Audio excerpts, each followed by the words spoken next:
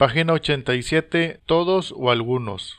Dice, utilicen los cuerpos construidos en el desafío anterior. Bueno, si los tienen, pues úsenlos. Si no, pues pueden usar dibujos como le hice yo. Tenemos una tabla y hay que completarla. Dice, en los casos de la pirámide y el prisma, terminen de escribir sus nombres de acuerdo con la forma de sus bases. Bueno, pues esos vienen siendo estos. Yo le puse lo mismo, rectangular. Me imagino que le pueden poner ustedes lo que gusten. Así que vamos a ver qué es lo que respondí. Conseguí las imágenes para que se vea un poco más claro. Tenemos el nombre de cada cuerpo. Hay que responder el número de caras totales, planas, aristas, aristas curvas o vértices. Para el cilindro que está aquí, el número de caras totales digo que son tres, ya que estamos contando una de arriba, una de abajo y la tercera que es todo el cilindro, ¿sí? lo largo curviado. El número de caras planas son dos, la de arriba y la de abajo nada más, la otra es curva. El número de aristas le puse cero, ya que estoy considerando que son aristas curvas, sí, estas aristas uniones de los lados curvos. En los otros casos son aristas rectas, uniones de los lados, sí, rectos.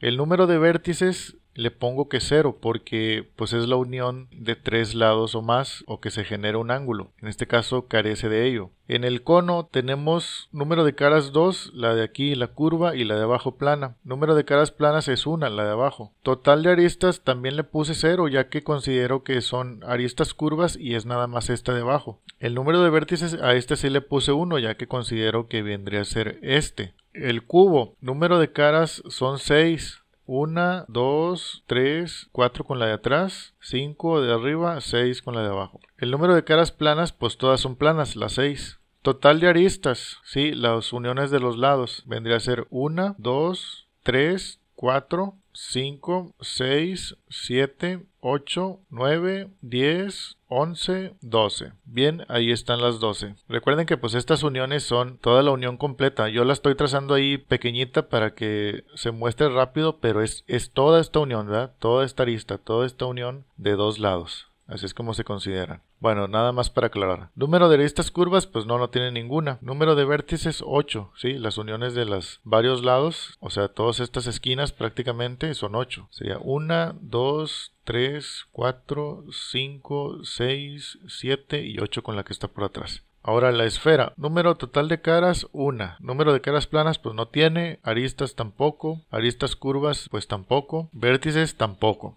ya que es una bola completamente. La pirámide yo elegí rectangular, está acá. Número de caras, 5, son 1, 2, 3, 4, con la que está por atrás, y la de abajo plana, 5. Número de aristas totales, aristas, uniones de los lados, abajo son 1, 2, 3, 4, y arriba 5, 6, 7 y 8 con este acá. Número de curvas, pues no, no tiene. Número de vértices, igual las esquinas. Aquí estaría 1, 2, 3, 4 y 5 con la de la punta. El prisma rectangular que elegí. Número total de caras 6. Es prácticamente como el cubo. 1, 2, 3, 4 con la de atrás, 5 y 6 con arriba y abajo. Caras planas pues todas, las 6. Total de aristas, uniones, igual que en el cubo. 1, 2, 3, 4, 5, 6, 7, 8, 9, 10, 11 y 12. Aristas curvas no tiene número de vértices 8 igual que el cubo. 1, 2, 3, 4, 5, 6, 7, 8. La semiesfera, esa está acá abajo, aquí. Total de caras 2, la de arriba, esta curva y esta plana de abajo. Número de caras planas 1, la que está abajo. Total de aristas le puse 0, ya que considero una arista curva esta que está aquí, ¿verdad? La unión de esta cúpula con esto de abajo. Número de vértices 0 el toro o dona. Total de caras, una. Caras planas no tiene ni aristas, ni aristas curvas, ni vértices. Y bueno, esas son las respuestas que yo tengo para esta página. Vamos a la siguiente.